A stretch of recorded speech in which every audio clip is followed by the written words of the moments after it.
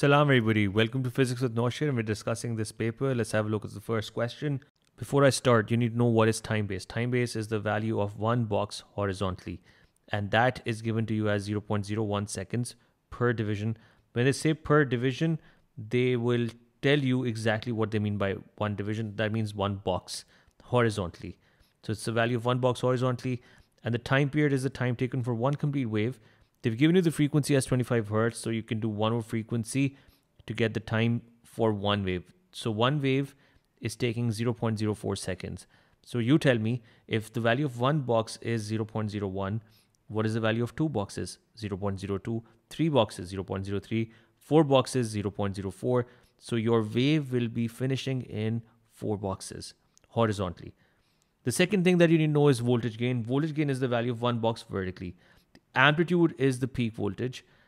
So the peak voltage is 4 volts, as they're mentioning in the question. Your Y gain or your voltage gain is 2 volts per division. And they've told you what they mean by division.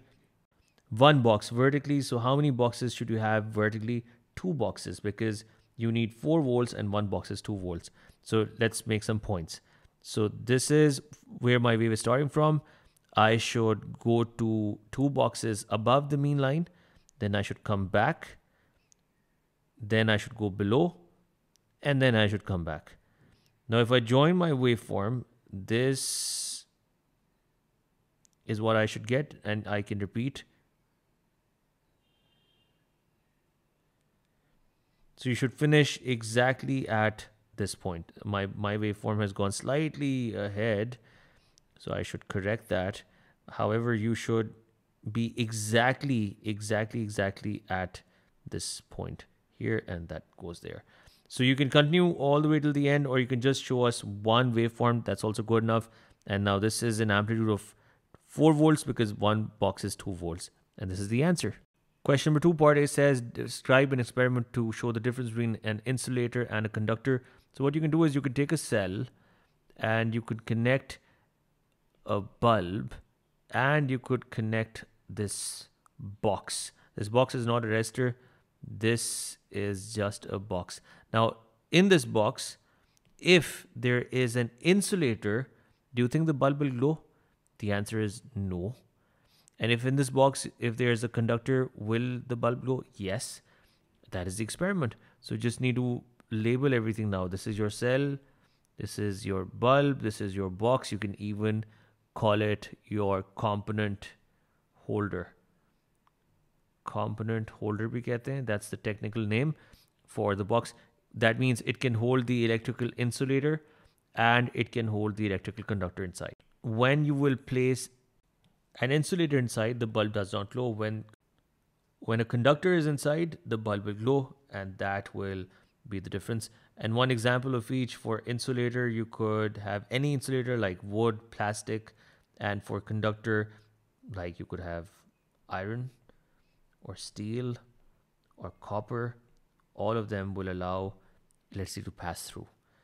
Insulator wood plastic etc now to find resistance resistance is the ratio of voltage and current. And if you want to write it like that you just have to explain the symbols to us.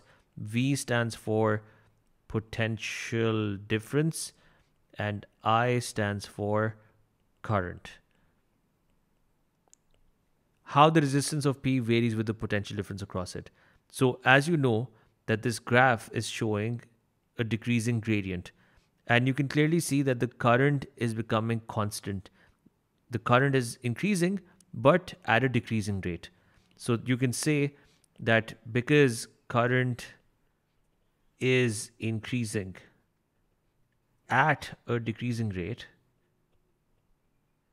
it shows that the resistance is increasing as the voltage increases.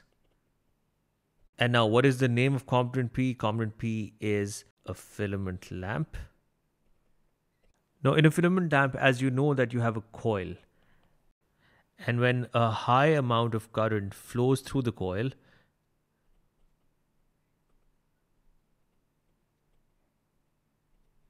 its temperature increases since temperature is proportional to resistance,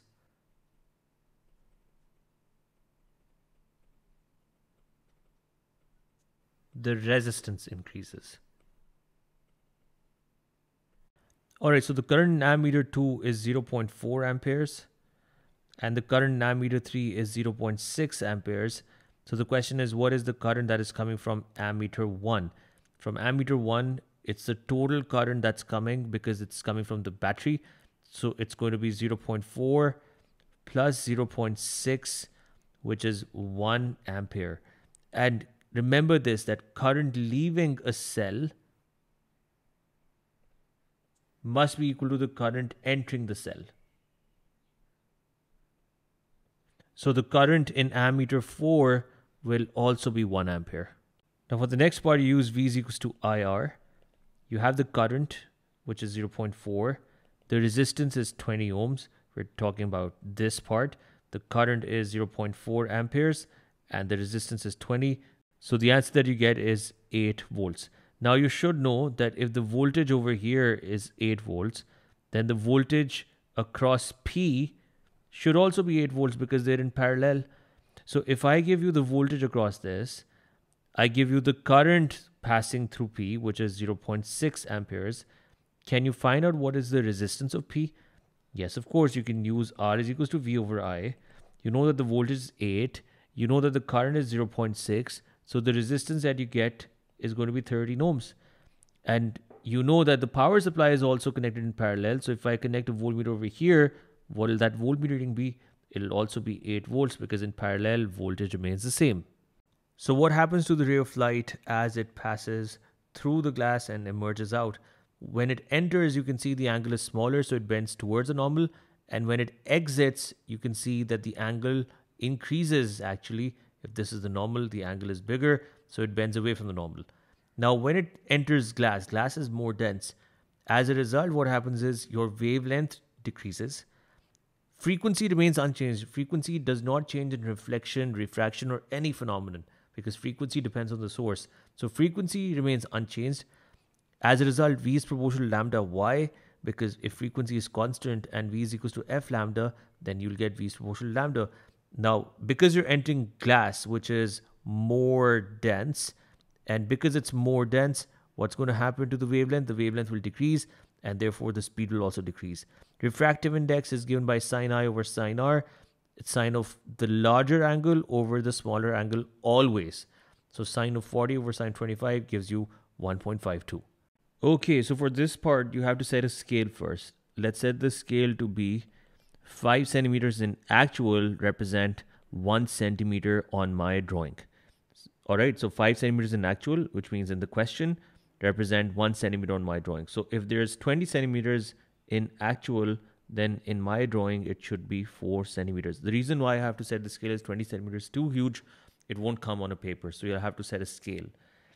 That means that my focal length will be represented by 4 centimeters. So I'll draw a straight line and I will measure a length of 4 centimeters on either side and I will mark the position of F. That's the first step. The second step will be I will measure 4 centimeters again and mark 2f. And I'll mark 4 centimeters again and mark 2f. The next thing is the object is at 50 centimeters. So the object's distance from the center of the lens should be 10 centimeters. So from my lens, from here, I will measure this length and I will say that this length should be 10 centimeters or you could say it'll be 2 centimeters ahead of 2f. Now they don't mention anything about the height of the object so you're free to make the object as big as possible. Just try to keep it within the size of the lens. Done? Last steps. You have to draw a straight line from the object to the optical center passing straight undeviated.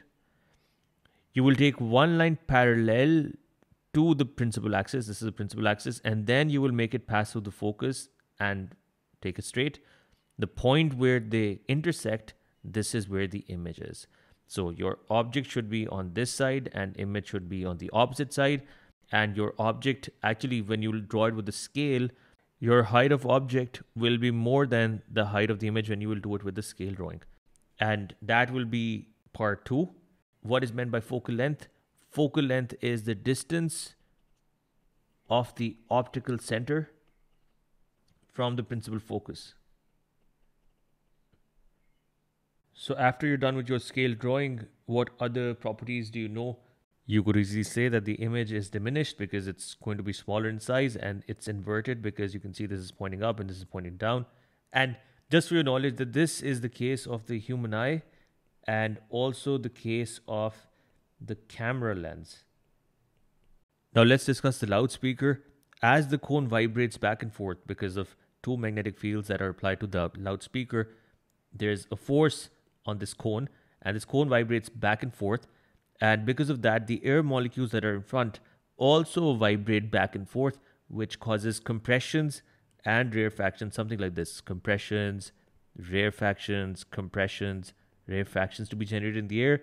And that's what generates sound and it travels away from the speaker. So as the cone vibrates back and forth, air molecules also vibrate back and forth in the same direction, causing compressions and rarefactions to be formed, and hence sound is produced. Now, highest frequency that you could hear possibly is 20 kilohertz. In the next part, they're saying calculate the longest wavelength. Longest wavelength means that you should use the smallest possible frequency. So V is equals to F lambda. Speed is given as 340. The frequency that you're supposed to use should be the smallest, which is 20 into lambda. So lambda will turn out to be 17 meters. Let me just show you how you will do this question. First of all, you will take a ray straight from the object, just the way you did in the previous question. So similar to that. All the way to the center of the lens. The only question you'll have is where is the focus? So they've given you the focal length as 3 and it's a full scale drawing. So what you'll do is you'll put your ruler on one side. Let's say you put the ruler this way with the zero mark over here and you will measure the length of 3 centimeters. Let's say, for example, 3 centimeter turns out to be at this point. Just saying as an example. So let's say 3 centimeters turns out to be after two boxes, but you'll have to measure it with the ruler yourself. So if 3 centimeters over there, then 3 centimeters will also be two boxes away from the lens on the other side. And this will be F. And then this will be 2F. And likewise on the left side, the first mark you labeled was F. And the second mark, which will be after two boxes, will be 2F. So then what you'll do is once you have measured this distance with a ruler, like I said, you have to put a ruler and you have to ensure that wherever you're writing F, that distance using a ruler should be three centimeters. So in my case, I'm assuming the two boxes make it to be three centimeters. Then what you'll do with your straight line that you've drawn, you will make sure that passes through F and then goes straight. Let me do it. So wherever your F is, just take your ray through it and cross it and give it the arrowhead. And then you will draw another ray from the object passing through the optical center. Let me do it. Here we go. Kind of like this. So this ray going from the object through the optical center and then meeting at this point. As a result of that, you will have an image which is going to point downwards over here all the way till this point and this will be your image and that'll be your object. But remember, you have to measure 3 centimeters from the ruler, mark F, then measure another 3 centimeters, mark 2F, and then simply continue your rays. This ray is not a problem at all because this does not require any scale, just pass it straight. This ray which is going parallel needs to pass through that 3 centimeter point and wherever the rays intersect, that's where your image is formed. Now, what is linear magnification? Linear magnification is height of image over height of object. And then to get the magnification, you will measure the height of the image using a ruler because it's a scale drawing. So you will literally put your ruler like this, align the zero mark over here and measure this height. This will be the height of the image.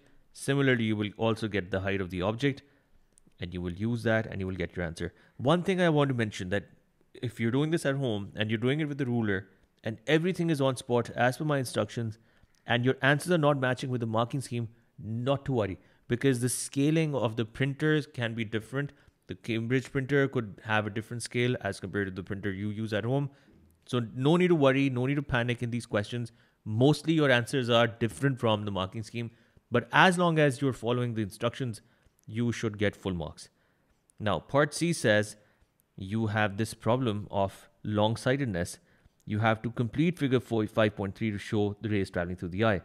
Now, when you have long sightedness, the problem is that the rays converge behind the back of the eye. And you have to make the arrows. And if they ask you for the correction of this, you will say that you will use a converging lens. Why? Because when you will put a converging lens, what's going to happen? These rays are going to converge further. And then after passing through the human lens, they're going to converge further and there are chances that they would meet at the back. So think about it. The reason why the image is not being formed at the back of the eye is that the human lens is unable to converge them to this point. So you need to increase your convergence. So you will use a converging lens.